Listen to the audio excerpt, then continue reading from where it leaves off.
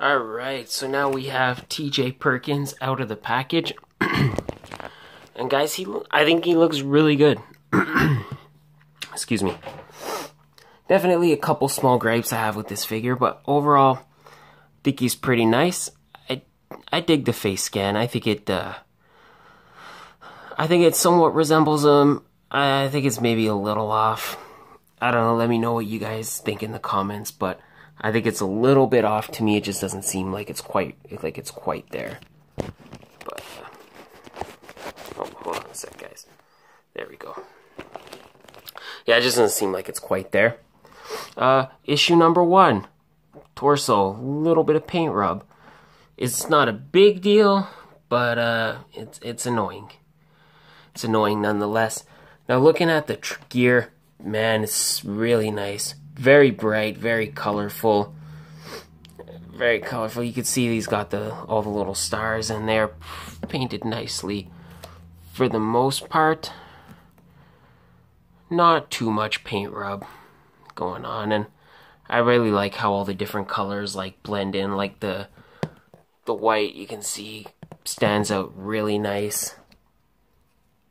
That's a the white stands out very nice on the yellow and the blue pops out pretty good and the red is pretty good. As you can see there's a little bit like right on the top with the blue. Definitely looks a bit rough right there. Same thing on there but not too bad. Little bit better on the bottom but yeah definitely kind of rough on the top. Same with the red. You can see some of the red is kind of chipping away. But it is pretty nice. I i do uh i think he, the legs are a little off like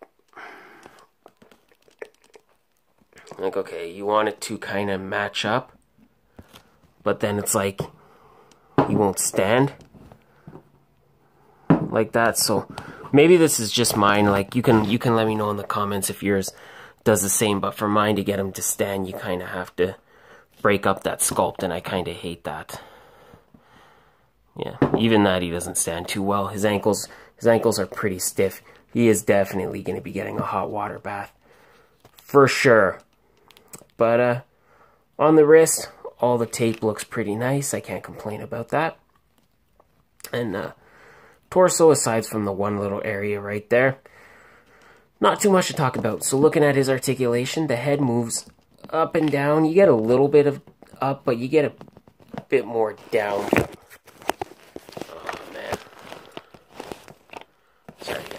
I'm, I'm sorry. I'm sorry.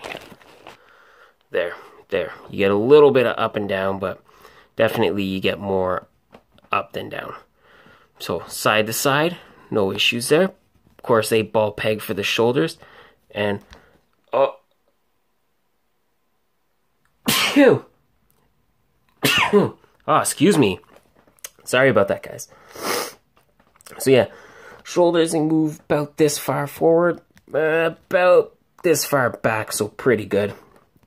And of course, he has the upper arm swivel, single jointed elbow, because, excuse me, Mattel doesn't know shit about articulation.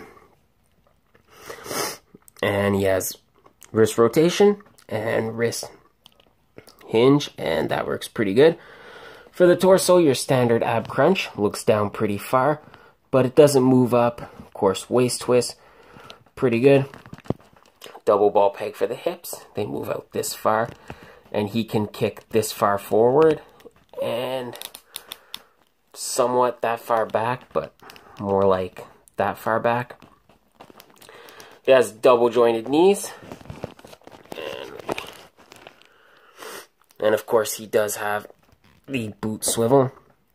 Now, he's supposed to have ankle hinges and ankle rockers but uh, yeah, like I said, mine are like really, really stiff. I'm not going to force them right now because I don't want them to break. But uh, he, he should have that articulation. He does have that articulation. It's just very stiff on mine. Like I said, I don't want it to break. Now, the accessories he comes with, he comes with the medal for the Cruiserweight Classic. Can you see that?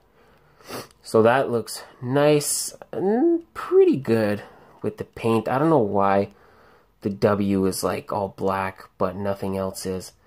that's a little weird. To me, that's a mistake. Now, this wasn't the medal he got when he won.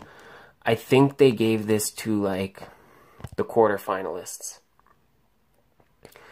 So, uh, or the, the finalists. Like, I think he got one. And I think Gran Metalik also got one. But it looks pretty good nonetheless. There's a lot of detail.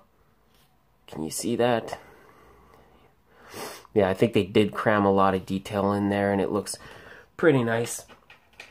And he comes with a brand new Cruiserweight Championship. Again, really, really nice. I really like the purple on the silver. Makes it stand out really well. And, uh, yeah, I like the color. It looks pretty cool, so pretty decent. The only issue I have is the uh, can you see that? The plate seems to be coming off. It was just like that. Yeah, see? It was like that out of package. So definitely disappointed by that. Uh, like it's not really to the degree even like the side plates kind of same issue. You can kind of push it in, but it doesn't really stay. So uh, yeah, I don't know. I was very I was very disappointed with that. I feel like I don't know. it's just just is this just the quality that Mattel is going to give us now? I know they're supposed to release a lot of other figures that come with this title, and uh, I find myself hoping that those ones will be better. Because yeah, like I said, I don't know. Is this just a is this just a Mattel quality, or did I just get a bad one? If you got one and it's not that bad, let me know in the comments. And uh, that'll be that. So overall, do I think TJP is worth a pickup? This one, this is of course the Network Spotlight one. I say yeah. I say yeah, because he is pretty cool. It is an elite TJP. He went straight to elite, so that's pretty cool. And it is a nice figure. I really like the ring gear. I really like all the different colors how they kind of pop. It all stands out really nice. So definitely digging that. And the Cruiserweight title is cool to have, and so is the necklace. So I'm gonna go ahead and say that this guy is definitely worth a pickup. I don't I don't think you'll be super disappointed with him, but at the same time, I don't think he, he's just kind of on the middle. He's just kind of in the middle. I don't think he'll blow your expectations away, but I don't think he'll let you down either. So check him out. If you find him, pick him up. I don't know if it's only at TRU. I, I those here here in Canada, those network spotlight figures don't seem to show up at Walmart, so maybe those are just TRU exclusives. I don't know how it is in the states, but that's how it is here. So, uh, all right, guys. Thank you again for watching this video. I appreciate it so much. Please don't forget like this video, share it with your friends, leave me a comment because I love to hear from you guys. Don't forget, hit that subscribe button.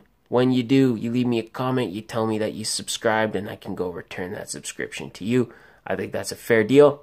Is it not? Is it wrong? I think that's pretty fair, guys. I think that's fair. So please do all that. Check me out on social media. I will leave all the social media links in the description below.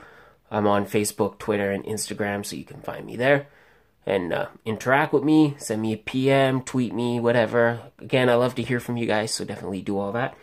And I will catch you guys next time with another brand new figure review. So, have a great day and goodbye.